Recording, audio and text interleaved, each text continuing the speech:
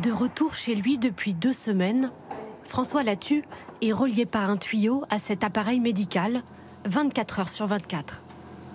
Ça va jusque dans le nez et j'ai de l'oxygène qui arrive dans le nez en fonction de ce que j'ai besoin comme débit. Euh, on monte un petit peu le débit euh, pour la nuit et puis euh, pour la journée, j'ai un débit un peu inférieur.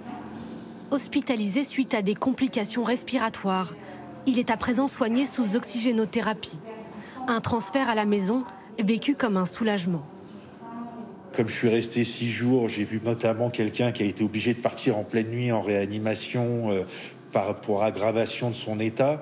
Moi, j'ai des problèmes d'anxiété déjà à la base et euh, de savoir à l'hôpital, euh, je pensais que j'allais me retrouver dans un état tellement dégradé que j'allais me retrouver intubé et puis mis hors connaissance et puis, puis voir mes proches. Un traitement à domicile réservé à des malades du Covid stabilisés, sous l'étroite surveillance d'une infirmière. Comment vous vous sentez? Ça va. Un peu essoufflé, mais ça va. Ou c'est à l'effort Chaque jour, elle vient vérifier son taux d'oxygène et sa fréquence respiratoire. C'est pour euh, s'assurer que le maintien au domicile, il est toujours possible, au vu de l'état du patient qui, en effet, peut évoluer euh, en quelques heures. Toutes les informations sur l'état du patient sont enregistrées et directement transmises à l'hôpital d'Argenteuil. C'est la chef des urgences, le docteur Legal, qui assure le suivi des malades après leur sortie. Une centaine est actuellement prise en charge dans ce projet pilote. On a sur cet écran général les principaux symptômes. Euh, ceux qui sont rouges sont plus alarmants, donc euh, ça justifie en général un appel téléphonique. Ceux qui sont oranges sont en général euh, satisfaisant. Vert, ça veut dire que tout, est, tout va bien. Seuls les malades en voie de guérison et avec de faibles besoins en oxygène sont concernés. Autre condition, être autonome, entouré et résider à moins de 30 minutes de l'hôpital. Bon, eh ben écoutez, je viens vous annoncer une bonne nouvelle, c'est que vous allez rentrer à la maison. Hein euh, le Covid va beaucoup mieux. Tout ce qu'on fait ici, on peut le faire à la maison avec le même niveau de sécurité. Voilà.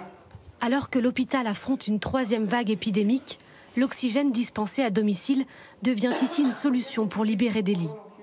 Pour nous, on est passé de 8 jours en moyenne, de durée moyenne de séjour, à 4 jours. Donc sur un même volume de lits, on peut prendre le double de patients.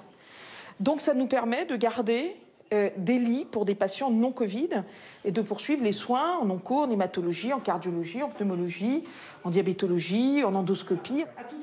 Si cette prise en charge est autorisée par la Haute Autorité de Santé de manière exceptionnelle, elle fait débat chez les pneumologues et les infectiologues. La Société de pathologie infectieuse considère que le maintien à domicile de patients devenant oxygéno-requérants est dangereuse. L'oxygénothérapie sur euh, ces pathologies aiguës, à mon sens, ne sont, ne sont pas des prises en charge dégradées. Ce sont au contraire l'utilisation euh, du système de santé avec une interaction ville-hôpital, des systèmes d'hospitalisation en domicile qui, qui devraient amener d'ailleurs secondairement à repenser beaucoup de prises en charge hospitalières qui pourraient être faites en ville, en interaction avec l'hôpital. En France, 60 000 patients ont pu bénéficier de l'oxygénothérapie à domicile depuis mars 2020.